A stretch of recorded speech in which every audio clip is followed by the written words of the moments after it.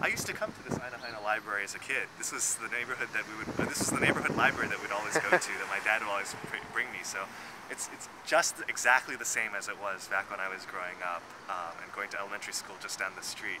And so, you know, I'm so glad that there are institutions like this that are bringing the community together, that are um, giving a safe place for kids to learn and to play, and for um, adults to access resources that they need. I think libraries are such an important part of our communities and that's why I will always fight to, uh, to have a very strong library system. Did you have a favorite book at Aina Haina Library? Oh, I, you know, I read so many books in there. I, what I would do is every, every time we'd go to the library, my dad would make me write down the names of all the books because I know that if I didn't have a list of all the books that I would lose them. And so we, it was my first lesson in responsibility, so to speak.